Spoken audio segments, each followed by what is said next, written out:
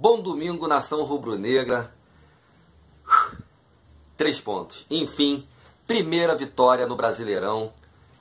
Venceu, mas para muitos ainda não convenceu. Mas o que mais importa é que tiramos a Urucubaca e vencemos o primeiro jogo no Brasileirão. 1 a 0 com gol do Arrascaeta.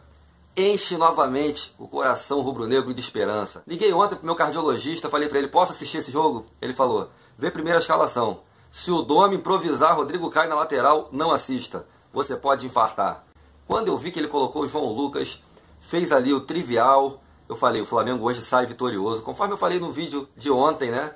Porém, separamos aqui os melhores momentos de Coritiba e Flamengo no Couto Pereira. Vamos para os melhores momentos do Mengão. A grande surpresa do jogo foi o nosso lateral João Lucas, que entrou com muita personalidade. Ó, a galera nem sentiu falta do Rafinha. A outra novidade é que já está praticamente acertada a contratação de Maurício Isla, jogador chileno que demonstra muito interesse em vir para o Mengão. Parece que só faltam alguns detalhes. Guga do Atlético Mineiro também é um nome que tem sido muito ventilado, apesar da diretoria do Atlético Mineiro não estar muito satisfeita. O próprio Jorge Sampaoli é contra a ida do Guga para o Flamengo, porque diz que vai fortalecer o seu arquirrival na busca pelo título do Brasileirão. Guga em si já demonstra o interesse também de vir para o Flamengo. E aí, galera, Isla ou Guga? Ou os dois? Parece que a diretoria do Flamengo está querendo contratar os dois. Há necessidade? Tendo João Lucas e tendo o Mateuzinho, precisamos também exaltar a participação de César ontem no gol com muita personalidade. Um goleiro que para muitos, ah, é novo, muito garoto ainda não. O César está caminhando daqui a pouco para 30 anos e nunca teve uma oportunidade de sequência de jogos. É um grande goleiro, sim. César, parabéns pela sua atuação. Léo Pereira ontem não comprometeu. Tem uma galera que defende aí a chegada de Tuller como titular, assim como do Gustavo Henrique.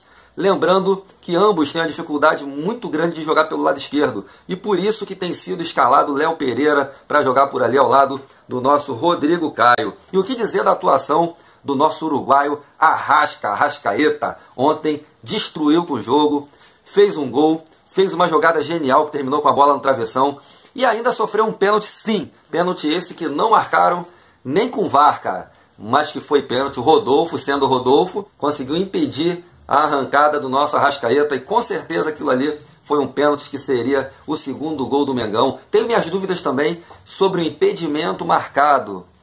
Cruzamento genial de João Lucas, cruzamento de Rafinha e o Pedro testou para dentro do gol. Muita gente dizendo que tinha um joelho aqui, um joelho ali. Para mim, gol legítimo do Flamengo. Então o Mengão foi garfado ontem no Couto Pereira. Para mim, resultado moral do jogo, Flamengo 4 a 0 ontem. Outro cara também que se destacou muito no jogo foi o Gerson, como sempre. O Gerson pode estar o Flamengo em má fase, o Flamengo pode perder, pode ganhar, pode empatar. O Coringa sempre joga bem. É um cara que mantém sempre uma regularidade. É um jogador que precisa ser o meio-campo da seleção brasileira. Está pedindo passagem. Há muito tempo o Gerson vem se destacando. Primeiro tempo, tudo certinho, tudo direitinho. O time conforme o Mister jogava a escalação ok, a formação ok, Domi recuou, ouviu a galera, ouviu os jogadores. Fiquei muito feliz, porém fiquei preocupado no segundo tempo. O jogador René Júnior do Coritiba foi expulso. Quer dizer, com a superioridade numérica, o Flamengo tinha tudo para partir para cima, entrar um Michael para decidir o jogo. Mas não, mais uma vez me preocupou a mentalidade do Domi. O Domi puxou o time dele para trás, o Domi puxou o Flamengo para trás, né? Ele colocou o Pedro no lugar do Bruno Henrique e ele também entrou com Diego Ribas. Tirando assim os dois homens de frente do Flamengo, ficamos sem Gabigol, sem Bruno Henrique. O Flamengo recuou, tomou alguns sustos, conforme vocês estão vendo aí, né, na, na, nos melhores momentos. É, é, preocupante ainda a mentalidade do Domi, mostra ele ainda um pouco imaturo no que tange ao futebol brasileiro e ao elenco do Flamengo. Acho que a diretoria, a gestão de futebol precisa se aproximar mais do Domi e demonstrar ao Domi a importância verdadeira dele conhecer o elenco e principalmente estudar bem o futebol do Flamengo, o elenco do Flamengo.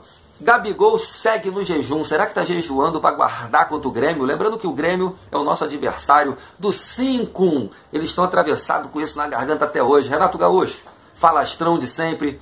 Até hoje não esqueceu o Mister. Vai querer se vingar em cima do Dome. E tomara que o Flamengo conquiste a sua segunda vitória dentro do Maracanã.